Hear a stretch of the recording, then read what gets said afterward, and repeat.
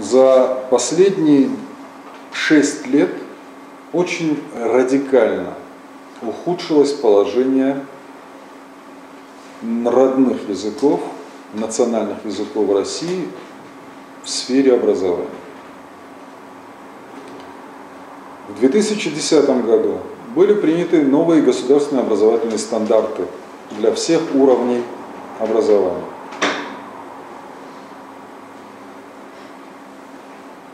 И что мы получили? Если до 2010 года федеральный, уч, э, вернее, учебный план школы состоял из трех частей. В первую часть входили предметы, которые называли, относились к так называемому федеральному компоненту. То есть те предметы, которые контролировал, содержание которых определяло Федеральное министерство образования. Математика, изобразительное искусство, музыка, иностранный язык и так далее, и так далее. Вторая часть учебного плана, на нее отводились только часы, 5 часов в неделю, и назывался этот раздел национально-региональный компонент. И каждая республика в составе России, и не только национальная республика, каждый субъект Российской Федерации мог наполнить этот раздел теми предметами и в том объеме, ну, в заданном лимите, который он считал нужным. Именно поэтому в 2000-е годы, в нулевые годы, мы смогли, я имею в виду в частности Северная Осетия, обеспечить достаточно солидное количество часов на изучение родного языка, то есть, как правило, это было 5 часов в неделю. Мы смогли поставить э, культурологические предметы, традиционная культура осетин, история Осетии, география Осетии. Третий компонент – это школьный компонент. В каждой школе предоставляется, предоставлялся один час на углубленное изучение тех предметов, которые он посчитает нужным, исходя из специфики самой школы, если это с углубленным изучением кода предмета, или каких-то региональных особенностей. Принятый в 2010 году федеральный государственный учебный план аннулировал просто раздел национально-региональный компонент. И в самом федеральном компоненте включил предмет, который называется родной язык. Определив для него три часа в неделю.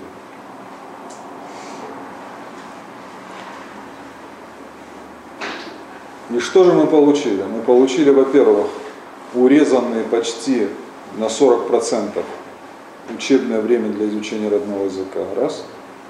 Во-вторых, мы лишились абсолютно полномочий по вмешательству в этот вопрос, потому что предмет родной язык перемещен из сокращенного национально-регионального раздела в раздел федеральный, который контролирует и полностью э, значит, э, подчинен только федералам.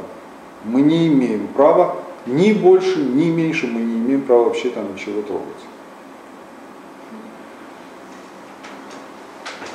Более того, мы пока это ощутили только на э, объеме часов на изучение языка. Кстати говоря, это очень сильно ударило по нашей учебно-методической базе. Дело в том, что были потрачены годы, 10 лет были потрачены на то, чтобы разработать более или менее подходящие современному уровню э, методики, скажем, кругозора детей, э, общекультурным задачам, учебники осетинского языка нового поколения. Они были разработаны и для владеющих, и для невладеющих. Они были изданы, они поступили в школы. И теперь мы столкнулись с той проблемой, что мы сами теперь оказываемся вредителями, потому что учебники рассчитаны на 5 часов. А, а реаль... А субъект на местном уровне законодательно никак не может повлиять на Нет. эту ситуацию? Не можете добавить в школе часы там Минобразования что-то Нет. дополнительно? Нет. Э, Есть один выход, о котором я сейчас скажу. Э, Увеличить количество на предмет родной язык мы не можем. Он, это федеральный предмет, и мы его трогать не Даже если бы мы хотели один час сделать, то тоже не можем. И пять не можем. Это Ну, федеральный это понятно, это зафиксировано. Помимо но есть, сохранился час образовательного учреждения в учебном плане.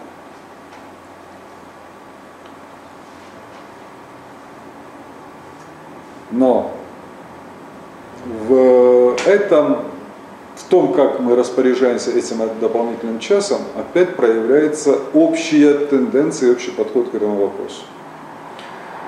Если проанализировать, на что уходит этот час школьного компонента,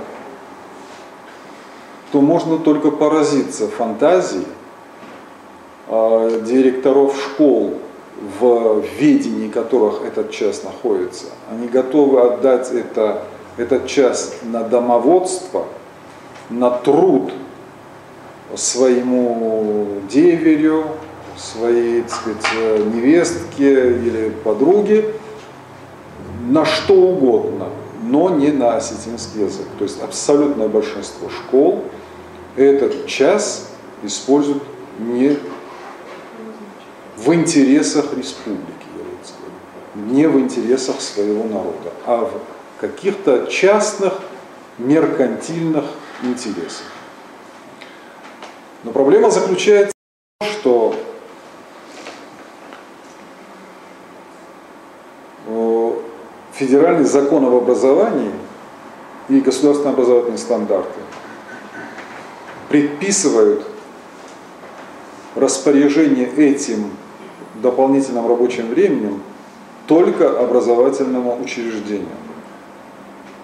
И отказывают в этом органу управления образования субъекта федерации. То есть, вот, например, Министерство образования не имеет права издать приказ, чтобы этот час был отдан на изучение эстонского языка. Безвыходно? На мой взгляд, нет. Дело в том, что все мы, живущие и в этой республике, и в этой стране, прекрасно знаем, как легко, если очень хочется, можно сделать то, что делать нельзя. И когда мы знаем, что наши э, несчастные учителя, чем они занимаются во время предвыборных и выборных кампаний, чем они вынуждены заниматься, директора школ в этот период и так далее. То есть при желании мы умеем выкручивать руки в целях далеко не столь исторически важных и судьбоносных. А вот там, где это действительно можно было бы и властью злоупотребить, мы на это не идем. В конце концов, я думаю, что на хорошем государственном республиканском уровне можно было бы собрать директорский корпус на совещание и просто внушительно поговорить. Поговорить о состоянии осетинского языка, поговорить о том, что мы за три часа никогда не сможем ничему нормально учить, и у нас есть вот этот резерв. И проводящий такое совещание руководитель мог бы сформулировать мысль о том, что он очень надеется. Более того, он даже проследит за тем, насколько присутствующие в зале директора школ способны принимать в расчет интересы своей республики и своей нации. Однако этого не делается. Таким образом, сейчас мы вновь собрали рабочие группы, которые авторов И на ходу сейчас переделываем наши учебники осетинского языка, сокращая их содержание на практически 40%. Другого выхода нет, потому что учебник, рассчитанный на 5 часов в неделю, это порядка 160 часов в год, при этом они пройдут всего 120 уроков. Куда пойдут 50 уроков, материал 50 уроков? Он зависнет в воздухе. И перейдя в следующий класс, ребенок не сможет учиться по учебнику следующего класса, потому что не усвоил 40% программы предыдущего класса. Никого это все в федеральном центре не волнует и не интересует. Власть? Куда, куда делись эти часы? Почему это вообще было сделано? А, сделано, куда дели? Часы же были, были лишь 5 часов. Общее это количество часов не изменилось. А дело в том, что мы до сих пор, я имею в виду российская система образования, бездарно тратила 3 часа в неделю на изучение иностранных языков в обычных школах. Бездарно в обычных школах. Разве не так? Я не видел выпускников обычных школ, которые без репетитора могли или освоили э, иностранный язык. Так вот теперь столь же бездарно мы тратим э, э, это же количество часов, но уже начиная со второго класса. Полагаю, что это существенно изменит результат. На самом деле результат не меняется, а часы были отданы на изучение иностранного языка. Сейчас возник вопрос о введении в обязательном формате изучения второго иностранного языка. Они один не могут выучить.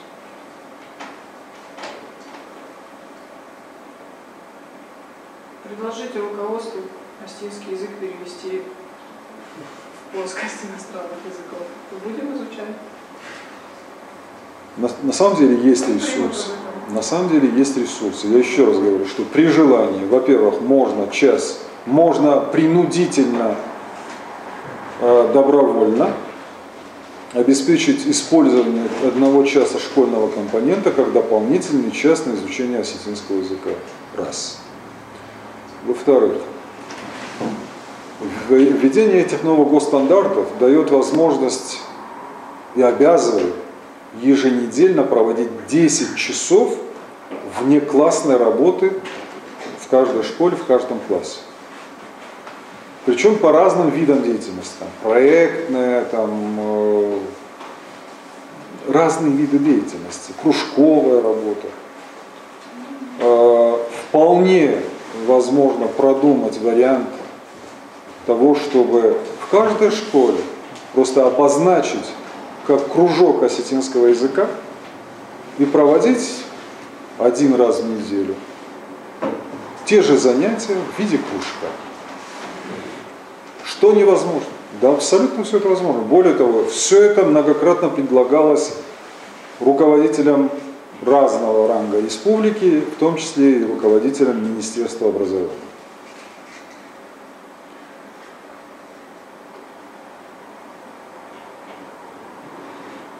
Но поскольку встречного движения нет, и когда оно появится непонятно, мы все-таки сейчас, авторский коллектив, вынужден пересматривать учебники с тем, чтобы самим не э, вредить образовательному процессу, чтобы обеспечить хотя бы соответствие количества часов, количеству материала, который будет в учебниках, чтобы не было сбоя в образовательном процессе. Но если вот эти проблемы мы сейчас э, ощущаем только применительно к осетинскому языку, да, кстати, здесь есть еще один важный аспект. Очень важный аспект, о котором, к сожалению, одни не задумываются, и, к счастью, не подозревают другие. Дело в том, что э, в учебных планах до 2010 года э, я напомню еще раз, был раздел национально-региональный компонент. И его заполняла сама республика. И там вставлялся предмет осетинский язык, осетинская литература, история Осетии, традиционная культура осетин, география Осетии. Теперь нет этого раздела. В федеральном компоненте написан предмет родной язык. А теперь давайте попробуем представить себе ситуацию, что какой-нибудь родитель не осетинской национальности вдруг задается вопросом, а собственно говоря, почему мой сын Хачик или моя дочь там Ваха изучают осетинский язык. На каком основании? А не на каком. То есть, если завтра в республиканскую или в федеральную прокуратуру поступит письмо о том, что в Северной Осетии неправомочно заставляют изучать осетинский язык людей не, не осетинской национальности, никаких контрдоводов у нашей республики не будет. Потому что в учебном плане федеральном написан предмет родной язык.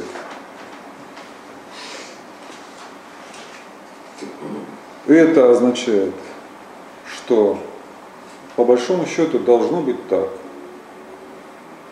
что, например, 21 школа выбирается в качестве базовой школы с этнокультурным армянским компонентом. И все желающие родители армянской национальности могут возить в эту школу своих детей, где за счет часов родного языка им будет преподаваться армянский язык. Но тогда возникает вопрос, а как же государственный статус осетинского языка? А никак. Значит, э, республик, сколько докладных, сколько служебных писем было направлено э, руководителям республики с, этой, э, с этим предостережением до тех пор, пока не будет принят республиканский закон о государственных языках. У нас в республике нет ни одного юридического документа, на основании которого мы могли бы сказать, да, они будут изучать и изучают и будут изучать осетинский язык, поскольку это государственный язык Республики Северная Осетия Мы э, все говорим о том, что у нас два государственных языка и государственный статус осетинского существует. Но это прописано только в Конституции. Это прописано только в Конституции. Статья 15 нашей Конституции гласит о том, что государственными языками республики являются осетинский в скобках, иронский, дегорский диалекты и русский язык. Но обеспечение государственного статуса предполагает принятие целого ряда законов, и подзаконных актов. В Федеральной Конституции тоже написано, что государственным языком страны является русский язык. Но тем не менее принят очень важный и постоянно обновляемый закон о языках народов Российской Федерации. И, кстати говоря, отдельный закон о государственном языке Российской Федерации, то есть закон о русском языке специально существует. Отдельно все это прописано в законе об образовании. Так вот, э, непринятие этих законов лишает нас каких-либо аргументов в случае, если такая волна поднимется.